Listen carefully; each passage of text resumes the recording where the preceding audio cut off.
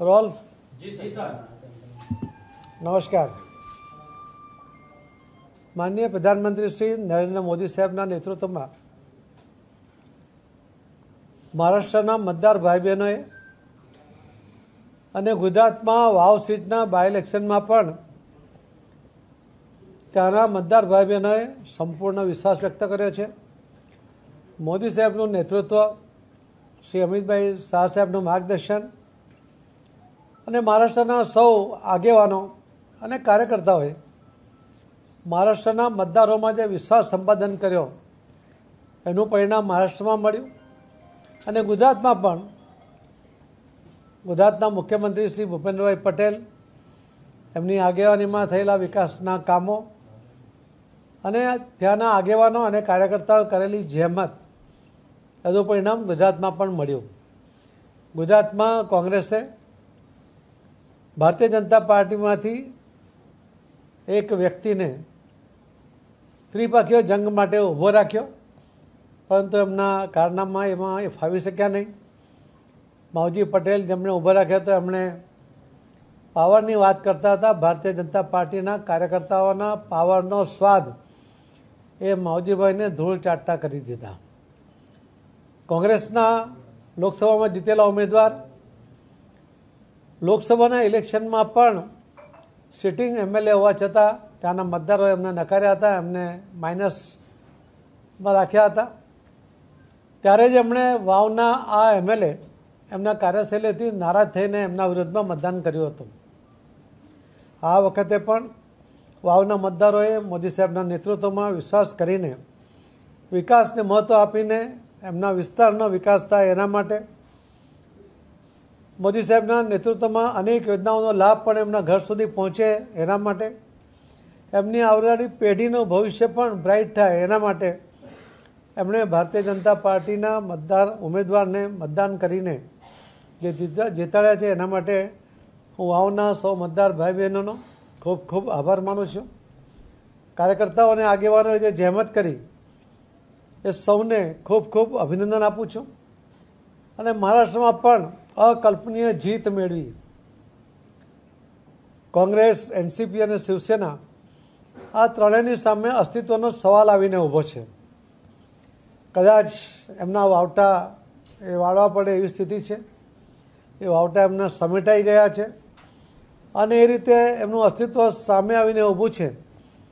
ત્યારે એમણે આમાંથી પાઠ લેવો જોઈએ. કે લોકોને વિકાસમાં રસ છે. લોકોને આક્ષેપો કરીને પોતાનું ધ્યાન પોતાના તરફ ખેંચવાનો જે પ્રયત્ન થાય છે.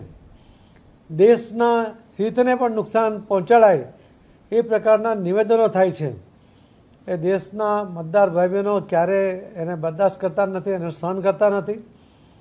અને એ બધાનું પરિણામ એ આજે મહારાષ્ટ્રમાં પણ જોવા મળ્યું છે. મહારાષ્ટ્રના મતદાર ભાઈ બહેનોને પણ એમણે લીધેલા નિર્ણય માટે એમના આભાર માનું છું. અને ત્યાંના કાર્યકર્તાઓ અને આગેવાનોએ મોદી સાહેબના નેતૃત્વમાં, અમિતભાઈ શાહ સાહેબના ગાઈડન્સમાં જે રીતે કામ કર્યું, એના કારણે ઇલેક્શન પહેલાંનો જે નેગેટિવ માહોલ હતો, એના બદલે આટલો પોઝિટિવ માહોલ બનાવી શક્યા. એના માટે સૌને ખૂબ ખૂબ અભિનંદન આપું છું. અને વિશ્વાસ છે કે મોદી સાહેબના નેતૃત્વમાં દેશ જે રીતે પ્રગતિ કરી રહ્યો છે, એના સારા ફળ એ મહારાષ્ટ્રને પણ મળશે જ એવો મને વિશ્વાસ છે. ધન્યવાદ.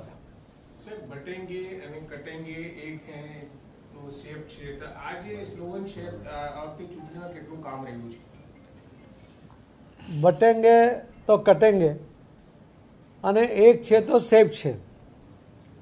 આ બંને વાક્યનો અર્થ બહુ સ્વાભાવિક છે. કોઈપણ સામાન્ય માણસ સમજી શકે છે કે જો ભાગલા પડે તો તમારી શક્તિ ઓછી થાય છે. ને એટલા જ માટે મોદી સાહેબે કહ્યું હતું કે એક છો તો સેફ છો. અને એ વાત સૌના ગળે ઉતરી છે. આ વખતે ન કોઈ બટા ઉસકે લીએ ન કોઈ કટા, એ વાત પણ સાબિત થઈ છે. અને જે વાતનો વિરોધ કરતા હતા, કેમ કે એ વાત દેશની એકતાની હતી. એ વાત વિકાસ માટેની હતી. કે જો બટેંગે તો વિકાસમાંથી પણ તમે કપાઈ જશો. એ મુદ્દો એમાં હતો. અને એ સ્વાભાવિકપણે લોકોએ આ બંને મુદ્દાને સ્વીકાર્યા અને એના કારણે એમણે મોદી સાહેબના નેતૃત્વમાં ફરી ખૂબ મોટું મતદાન કરીને જીત અપાવી છે. ધન્યવાદ.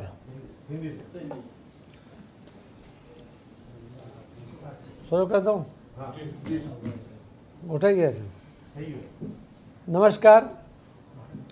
माननीय प्रधानमंत्री श्री नरेंद्र मोदी साहब के नेतृत्व में महाराष्ट्र में भारतीय जनता पार्टी के ज़बरदस्त जीत हासिल की है। और इस जीत में माननीय मोदी साहब का नेतृत्व, उनकी विचारधारा, उनका विकास के काम और श्री अमित भाई शाह साहब का गाइडेंस वहाँ के कार्यकर्ताओं ने, मतदाताओं के साथ का संपर्क और वहाँ के नेताओं ने जो प्रवास किए, उसका परिणाम महाराष्ट्र में भारतीय जनता पार्टी की ज़बरदस्त लीड के साथ वो आगे बढ़ी है। महाराष्ट्र में युति का जो गठबंधन था, उसको सवा दो सौ से भी ज़्यादा, दो सौ उनतीस से भी ज़्यादा सीटें हासिल होती दिख रही है। उसके सामने कांग्रेस, एनसीपी और शिवसेना उनका बहुत बड़ा उनकी हार हुई है। उनके अस्तित्व के सामने सवाल आके खड़ा है। एक मैसेज इसमें से जा रहा है जीत में से कि लोगों को विकास में विश्वास है। लोगों को मोदी, नरेंद्र मोदी साहब के विकास के कामों में विश्वास है। देश की प्रगति वो चाहते हैं। और उसीलिए देश हित के विरुद्ध में निवेदन करने वाले, निवेदनबाज नेताओं को महाराष्ट्र के मतदाताओं ने अपना जगह दिखा दी है। महाराष्ट्र के इस मतदाताओं को मैं बहुत बहुत धन्यवाद देता हूँ। उनका आभार व्यक्त करता हूँ। महाराष्ट्र के सभी कार्यकर्ता और नेताओं को भी बहुत बहुत अभिनंदन करता हूँ। गुजरात में भी वाव सीट के ऊपर कांग्रेस के जो कैंडिडेट लोकसभा में जीते थे, मगर उस उस इलेक्शन में भी वाव सीट के ऊपर वो माइनस में रहे थे। वाव के लोगों को 2017 में जो कैंडिडेट के जिताया था, उसकी कार्यशैली से उनकी नाराज़गी थी। इसीलिए उन्होंने लोकसभा में भी उनको वोट नहीं दिए। और इस बार भी ये तय था कि कांग्रेस को हारना था। उन्होंने भारतीय जनता पार्टी के कैंडिडेट को अपक्ष उम्मीदवार बना के त्रिपक्षीय जंग बनाया। फिर भी उसमें वो कामयाब नहीं रहे, जो मावजी भाई पटेल निवेदन कर रहा था, पावर की बात कर रहा था, भारतीय जनता पार्टी के कार्यकर्ताओं ने। कार्यकर्ताओं का जो पावर है, उसका स्वाद उसको दिखाया, उसको स्वाद चखाया और वाव की सीट जीतते हुए गुजरात विधानसभा में एक सौ बासठ की संख्या भारतीय जनता पार्टी के एमएलए की हो गई है। उसके लिए मैं गुजरात के मुख्यमंत्री को भी अभिनंदन करता हूँ। सभी कार्यकर्ता और आगे वालों को भी बहुत बहुत अभिनंदन करता हूँ। बहुत बहुत धन्यवाद चुनाव में बटेंगे तो कटेंगे। एक है तो है किनारे। क्या सही मायने में लोगों ने स्वीकार किया? माननीय प्रधानमंत्री श्री नरेंद्र मोदी साहब ने जो बात कही है वो बहुत स्वयं स्पष्ट है कि एक है तो सेफ़ है।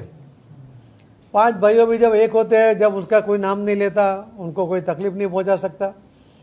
और अगर वो एक नहीं रहते हैं तो सेफ़ नहीं रहते तो बहुत स्वाभाविक बात है।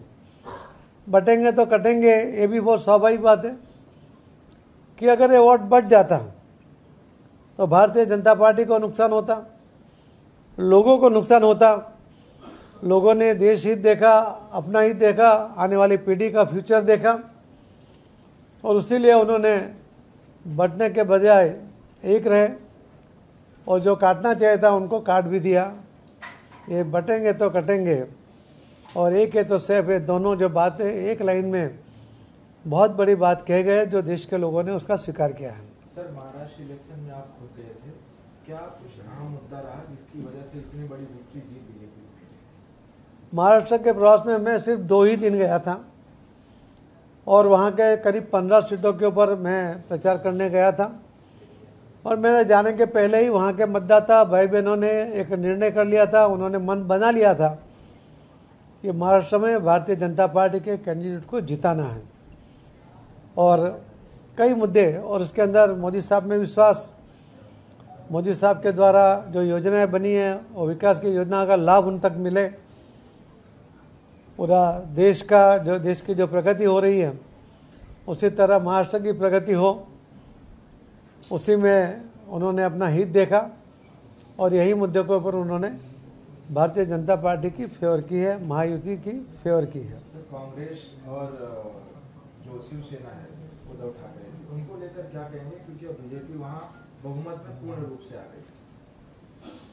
कांग्रेस और एनसीपी और उद्धव ठाकरे का शिवसेना ये तीनों के अस्तित्व खत्म होने तरफ़ जा रहा है। और जो लोकसभा में सिर्फ़ 99 सीट जीते थे, वो भी युति के साथ जीते थे। वो ऐसा प्रचार कर रहे थे जैसे उन्होंने 543 में से 99 लाए तो 100 में से लाए हैं। इस तरह का वातावरण उन्होंने बनाया। उन्होंने बहुत मोदी साहब के विरुद्ध में भी और देश हित के विरुद्ध में भी बहुत से निवेदन किए।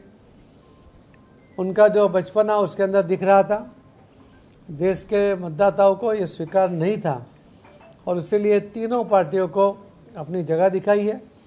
मुझे लगता है कि आने वाले सालों में ये पार्टी का अस्तित्व रहेगा या नहीं रहेगा, ये भी एक सोचने की बात रहेगी। धन्यवाद।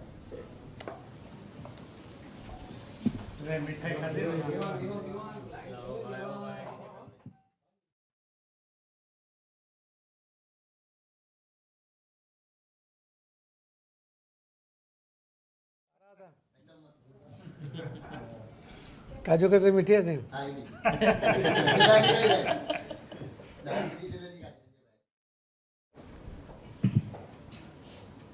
एका दिवस हाऊस पात्यामध्ये एखाद्या पत्रकारानं फरी।